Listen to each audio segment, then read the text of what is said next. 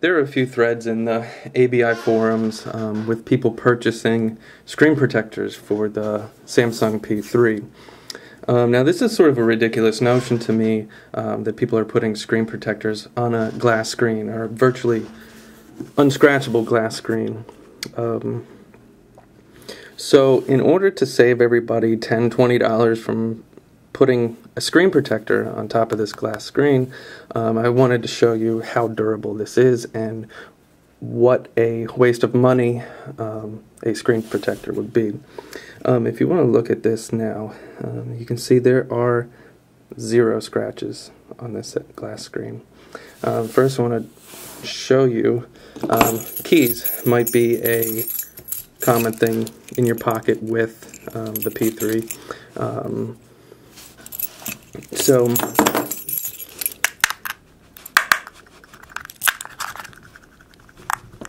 now I'm pushing pretty hard on this too. And as you can see, no scratches. Some dust there. Um, okay, if you don't believe that, you're saying, okay, um, keys, they're not really sharp. Let's try something a little more sharp. How about a kitchen knife? So,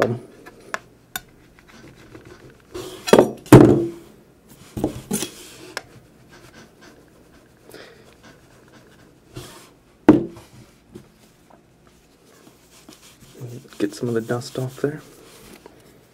And as you can see, zero scratches.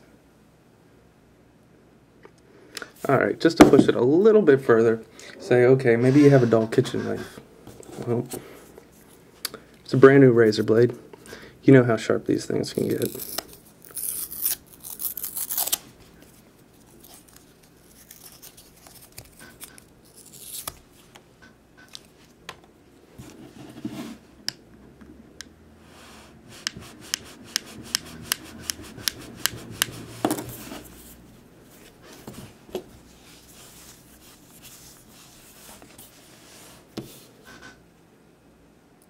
Once again, zero scratches.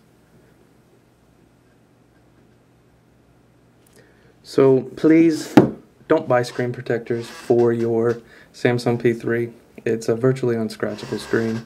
Unless you have a pocket full of diamonds, then maybe you have some concerns. But if you have a pocket full of diamonds, it's probably one of your least concerns. Um, now I will note that um, something like a knife or a um, razor blade, probably even keys. Um, you might might leave some marks here too, um, though. Though it almost seems that it takes off more of the key than might see a couple of scratches there, but um, overall, this is probably one of the more durable players I've come across um, recently. So there you have it. Don't buy screen protectors for the P3.